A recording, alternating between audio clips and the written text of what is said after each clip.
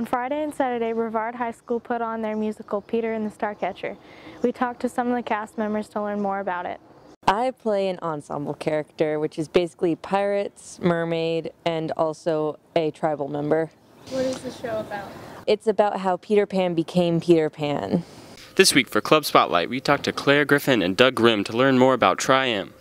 Tri-M is a National Music Honor Society, and it is the sole music honor society for high school students in the United States. It's really simple. All you have to do is be uh, in one of the performing into one of the musical performing arts, excuse me, uh, in band or in choir, um, or you know, be a be a musical performer, such as you know, if you're in an orchestra or if you're in a wind ensemble or stuff like that.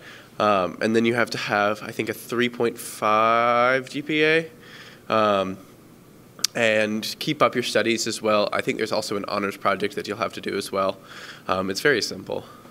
It's relatively new. We had it last year to begin with, but we're still just getting started.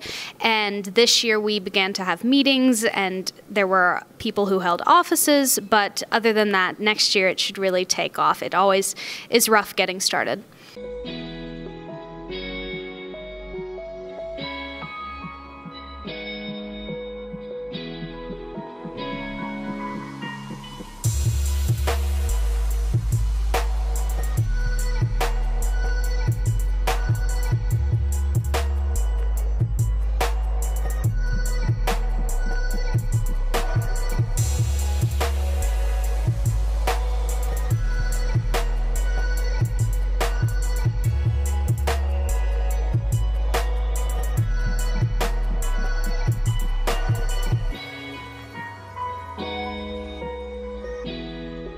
This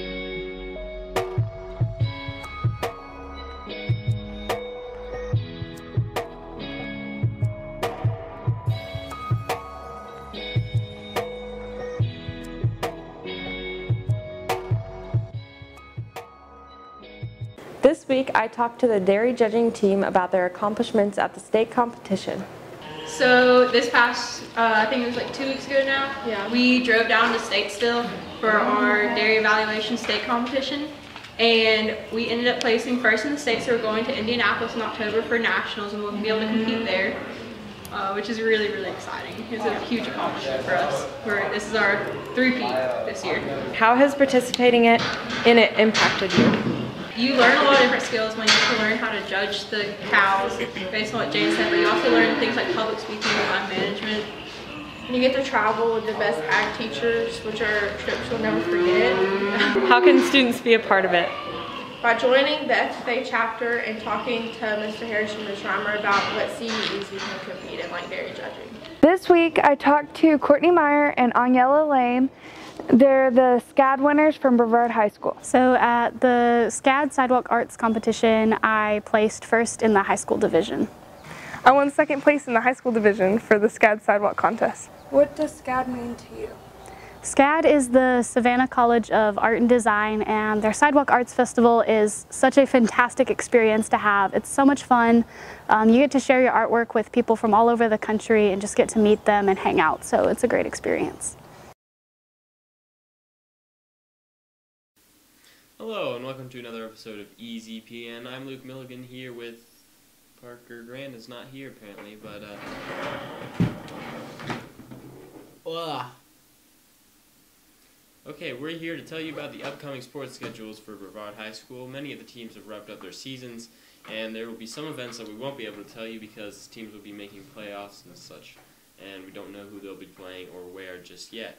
All we know right now is that there's a football parent meeting on Monday, April 7th from 6.30 to 7.30.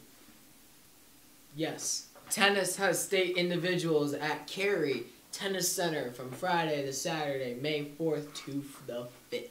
And track has their 2A division regionals Saturday, May the 5th. We have some more amazing top action thriller sports highlights this week, and we're going to start them off right now. Como arquero, el el servicio parece pasando, nuevo centro. ¡Gol! We're almost there. Excellent.